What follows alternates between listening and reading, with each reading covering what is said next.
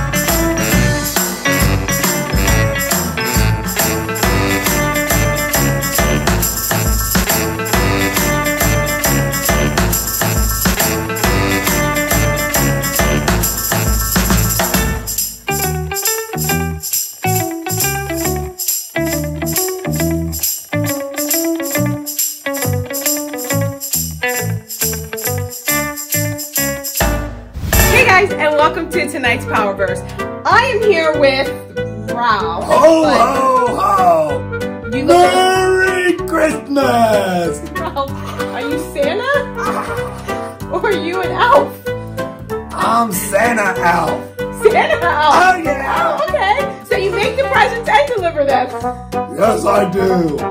Unfortunately. All right, well, listen, I, I this is thro- throwing me off. I, I don't think I did. Oh, there we go. Ah, Rob is back.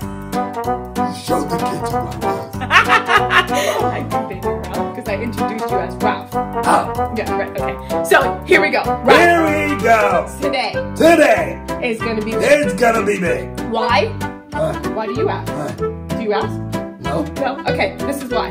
Last week, you got two right. Oh, two Oh, out of yeah. three, right? So now this week, I believe in Christmas miracles, and I believe this Christmas miracle. it's going to be a Christmas Oh yeah. right? Yes, it is. And Christmas is right around the corner, Mr. Belinda. I know. What are you asking for for Christmas, Rob? Me? Yeah, yeah. I want to be a real boy.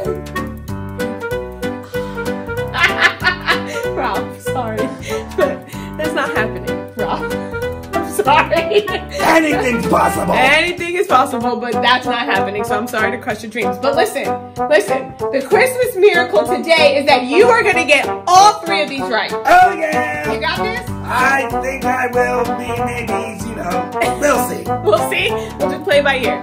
Okay, here we go. Let's get right into it. Let's do it. Wow, that was really loud and aggressive. all right, ready?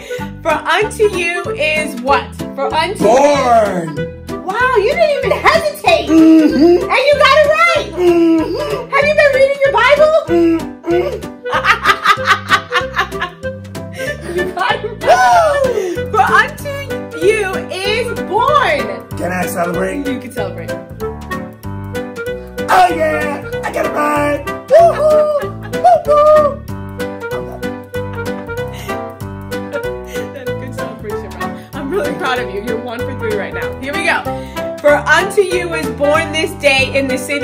David a what? What is born this day? Well, Jesus, you know, he is a savior. Yes!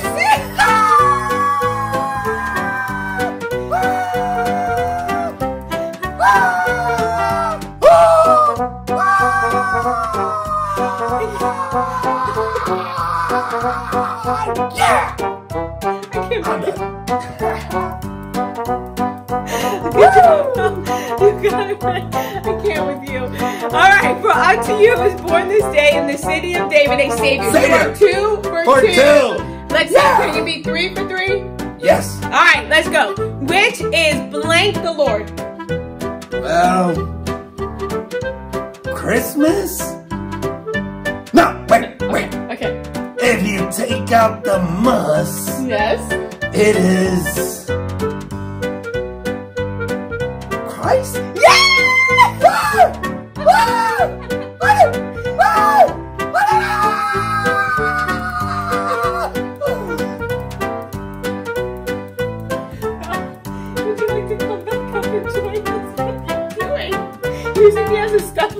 Oh!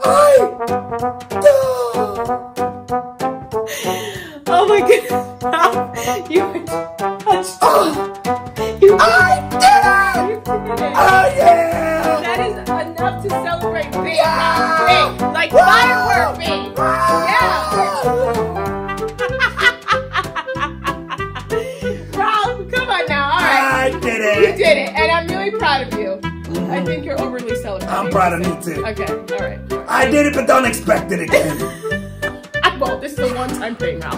Yeah, One-time thing. one time. All right, you ready to repeat after Let's do it. Let's do it. For unto you is For born, unto you is born is born this day this day in the city of David in the city of David a Savior, a Savior, which is Christ the Lord. which is Christ the Lord. You can find that in Luke Luke 2, 2. Two little brothers and sisters. 11. Oh yeah. Why do you feel the need to always scare me? I just love to do it. You love to do it. Well, listen, Ralph, you did a great job today. It is a I Christmas miracle. it. You gave the kids a Woo! present today. Yes, it's And a Christmas miracle. It is a Christmas miracle. So I am so excited. So excited. And I just want to wish you Me, a Merry Christmas. you too. And wish the kids a Merry Christmas. Merry Christmas to the kids. All right, bye guys. Bye, Merry. Christmas. Tonight, we are tackling the very important question what if? Now, I know we all have random what if questions. Like, what if it was against the law to eat vegetables? And what if snails ran as fast as cheetahs? That would be really cool. But this what if question we are tackling tonight is a really big one. What if the shepherds were not invited to the first Christmas celebration? The reason this is such a big question is because there's a particular way that some human beings naturally think. Now, we tend to think that people are on levels. You know, if you are famous, have a lot of money, or are the boss of a lot of people, then you are on a higher level than others. You are important. Now, of course, if you are poor and aren't known by any people, then that means you are on a lower level than others. We often refer to those kinds of people as not so important people. We treat people according to what level they are on and what we think they are on. If someone is important, then we look up to them and want to hang around them, if at all possible, right? If someone is not so important, then we tend to ignore them and not pay much attention to them, right? But that's not the way God thinks. That certainly is not the way God looked at the people when he chose them to send his son Jesus into the world as a tiny baby. Now you see, Jesus came for the important people. Remember the wise men in the Christmas story? Kind of like this. Now, they were definitely important people. They were scholars from far away land. In the Christmas song, they were called Three Kings, as in we three kings. Now, I'm not going to sing it to you, but you get the picture. They had a lot of money. They brought very expensive gifts to Jesus all the way from their far, far away land. Now, we know that Jesus came for important people like the three kings. That makes sense to us because the wise men were on a, that's right, higher level than many other people. Now they had more money, more fame, and more power than most people. Of course, Jesus came to earth to save these important people and many others like them. But important people are not the only one Jesus came for. You see, Jesus also came for the not so important people. You know, remember the shepherds? You know, in today's Bible story, the shepherds definitely were not considered important. Nobody paid attention to the shepherds. They were all alone out in the fields in the middle of the night. Nobody thought much about the shepherds. You know what? They were average. They were ordinary. They smelled probably like sheep. I mean, you can't get any more not so important than that. But God paid special attention to these not so important shepherds. God sent an entire choir of angels to give the first invitation to come see Jesus, who had just been born. The shepherds got word even before the wise men did. They were the first to arrive at Jesus' birth to worship him. Isn't that awesome? Even though other people didn't think they were worth much, God knew that the shepherds were very important in his eyes. He doesn't, uh, or why does this teach us, or what does it teach us? Well, it teaches us that whether you are rich, famous, and important, or are poor, unknown, and not so important, in the eyes of others, God loves all people the same, everybody the same. He sent Jesus for the important and not so important. It doesn't matter what others say about you. God says you are worth him sending his son to earth to save you from your sins. In fact, Jesus came to save all people from their sins. Every person on earth means the same to God. Jesus came so that every person could be saved from their sins. Whether it is a prince in Europe or a poor child in Africa, God loves them the same. Whether it's a king in Asia or a trash man in South Africa or, or South America, Jesus came for everyone. During this Christmas season, let's remember that God loves all people the same. Don't think that you don't deserve as much as someone else. Don't think that important people deserve Jesus' love, but you don't. Jesus loves you just as much as the most important person in the whole entire world. To him, everyone is important. As we celebrate Christmas, let's celebrate the fact that Jesus loves everyone. Listen, I hope you enjoyed this sermon. I sure did. I hope you guys are going to enjoy the Christmas season here coming up next week. Listen, until then, take care of yourselves and each other. This pastor loves you.